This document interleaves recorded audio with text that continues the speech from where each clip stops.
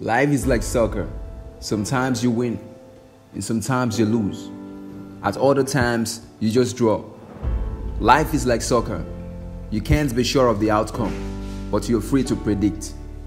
Like soccer, in life, you can laugh in the beginning and still cry in the end. Life and the game of soccer rewards those that keep pushing for a goal with a win. The passes, the dribbles, and the chances the players create in soccer are similar to the plans we make in life. All have a singular purpose to win a goal. Life is like soccer. You can have victory over those that defeated those that defeated you.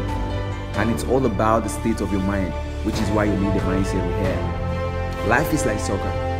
When you win, people give you a shout out. When you lose, you receive a shout down from the same people. Life is like soccer.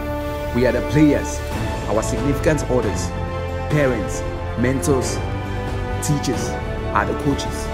Whereas the referee is our conscience, blowing the whistle when we go wrong. Life is like soccer. We don't all play the same way. But for us to win big, we got to team up. Life is like soccer. Sometimes you achieve your goal through a solitary effort. At other times, you will need someone to assist you. Life is like soccer. Not everyone that starts the game plays to the end. Life, is like, is like soccer. soccer.